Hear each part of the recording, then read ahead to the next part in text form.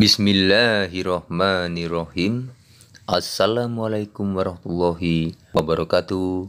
Jumpa lagi bersama saya di channel Nova Arif.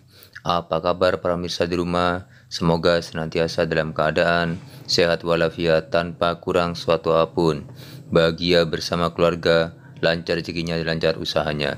Amin ya robbal alamin. Baik, jumpa lagi bersama saya di channel Nova Arif Kali ini saya akan bagikan mengenai latihan yang saya lakukan saat ini adalah latihan fokus untuk penguatan otot di bagian tubuh yang lemah. Cara saya ini saya lakukan untuk memompa volume otot supaya bisa stabil ataupun sama dengan bagian tubuh yang sehat. Dikarenakan saya melihat ada perbedaan volume otot antara yang lemah dengan bagian tubuh yang sehat. Sehingga saya di sini mengupayakan untuk berlatih menguatkan otot yang bagian tubuh yang lemah menjadi lebih kuat lagi sehingga bisa lebih stabil dalam hal pergerakan dan juga dalam pola berjalan. Inilah posisi saya saat ini apabila berjalan dari bagian belakang.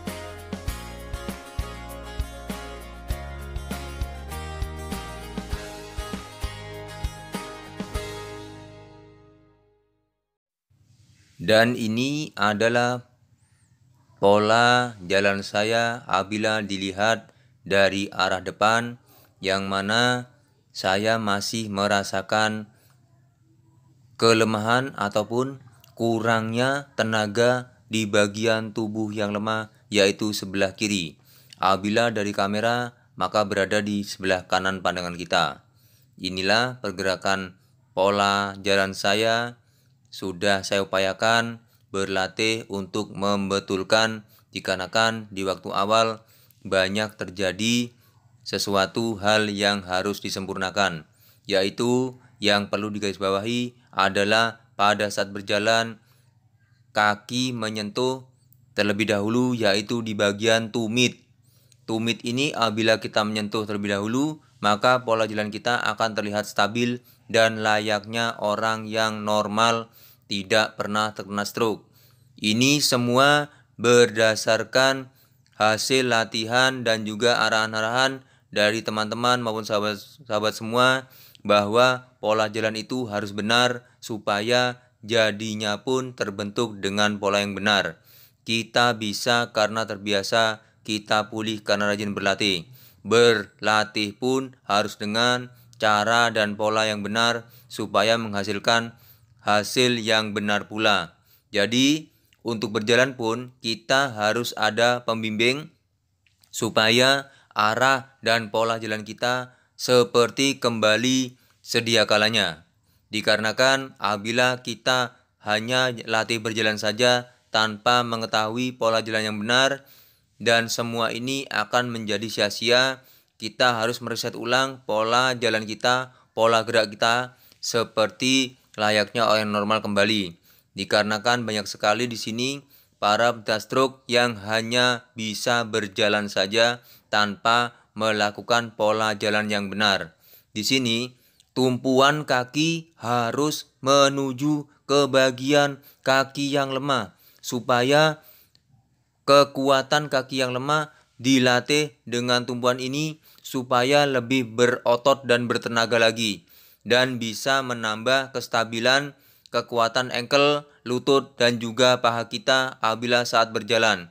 Jika kita hanya mengandalkan posisi tubuh atau kaki yang sehat saja, maka bagian kaki yang lemah akan semakin lemah dan lemah setiap harinya. Dan di situlah akan terjadi pelemahan ataupun terjadi pengecilan bagian tubuh kita yang lemah akibat serangan stroke. Dikarenakan lat pola latih dan pola jalan kita yang salah. Lihatlah semuanya ini sudah saya jalani kurang lebih selama 2 tahun berapa bulan saya lupa ya. Cuman saya upayakan di sini ternyata hasil dari rutin berlatih semuanya itu tidak sia-sia.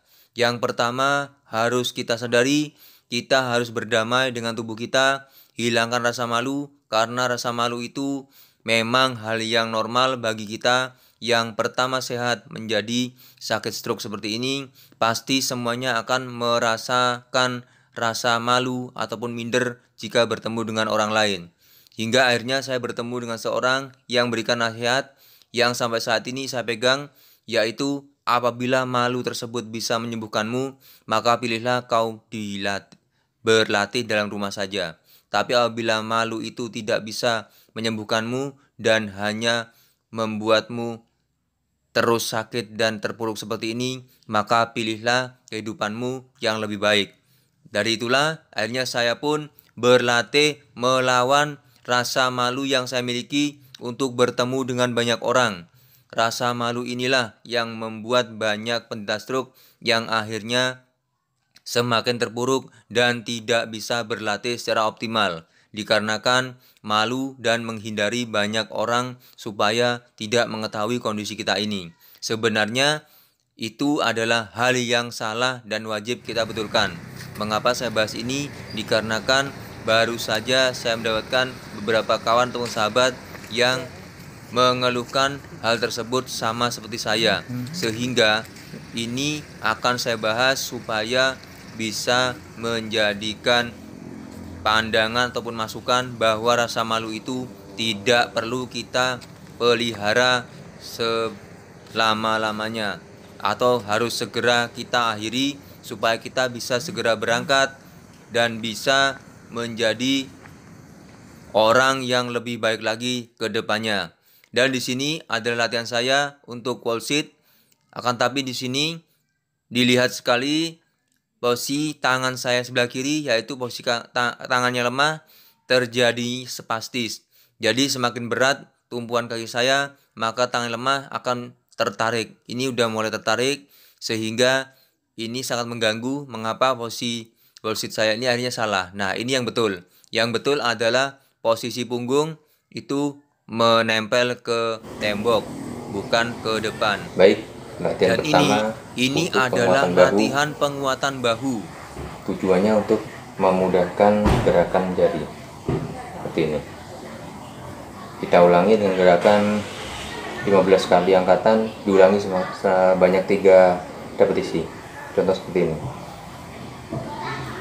2 3 4 5 6 7 8 9 10 11 12 13 14 15 repetisi yang kedua satu dua tiga empat lima enam tujuh delapan sembilan sepuluh sebelas dua belas tiga belas empat belas lima belas Oke, yang ketiga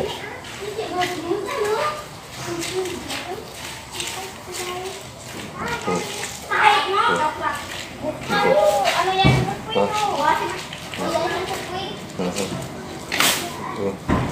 delapan sembilan sepuluh sebelas dua belas tiga belas empat belas lima belas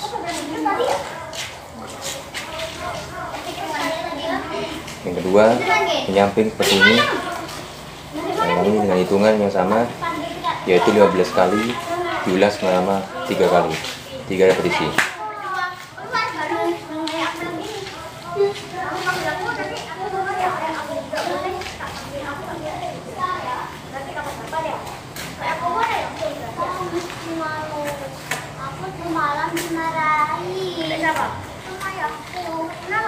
không học có không con vô rồi.